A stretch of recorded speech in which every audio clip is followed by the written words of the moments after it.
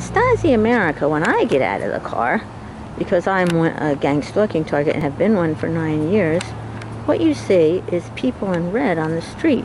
Because that's what the American Stasi does. You see, this is a neocon phenomenon. Hitler had the brown shirts. The neocon authoritarians have the red shirts.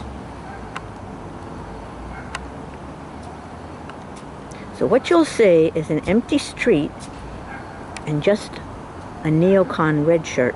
Now, am I saying that that person was a Stasi on this empty street who came by as I'm getting out of my car?